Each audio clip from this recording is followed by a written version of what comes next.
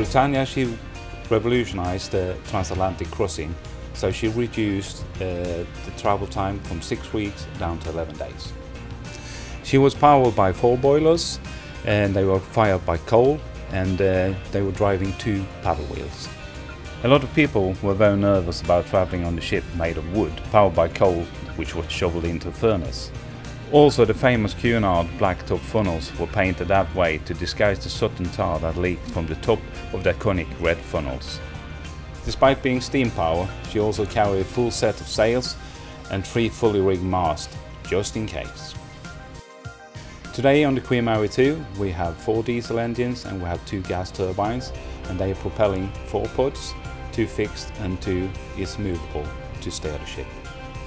The ship uh, produces way over 100,000 horsepower and we can power a small city, about a quarter million people, uh, the city of the size of Southampton. To fuel these engines, uh, Queen Mary 2 carries over 9,000 metric tons of fuel and that's probably one of the, the biggest amount of fuel carried by any ship today.